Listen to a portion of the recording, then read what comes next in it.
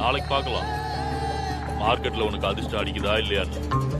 நீ முதல் நாளே இருபத்தஞ்சாயிரம் உள்ள ஸ்டாக்க வித்துருக்க. உன்னை அவ்வளவு சீக்கிரத்தெல்லாம் விட்டுற மாட்டாங்க மார்க்கெட் கிராஷ் ஆயிடுச்சு! மார்க்கெட் கிராஷ் ஆயிடுச்சு! கன்சல்டன்சி கம்பெனி ஆரம்பிக்கலாம். ஃபெயிலியருக்கு அப்புறம் புது சாப்டர் ஏன்னா அவரோட கனவு எவ்வளவு பெருசா இருந்ததோ அதுக்கு முன்னாடி அந்த ரிங் ரொம்ப சின்னதா இருந்தது. யா ஐ அண்டர்ஸ்டாண்ட் ஆனால் நீங்கள் எப்படி பண்ண ஆனால் நான் பண்ணலாம்ல இது கிரிக்கெட்டில் வெட்டு கட்டுற மாதிரி இருக்கு. தோக்குற டீமில் பணம் கட்டினா டீம் தோத்தாலும் உனக்கு ப்ராஃபிட் தானே? டீம் ஜெயிச்சிட்டா?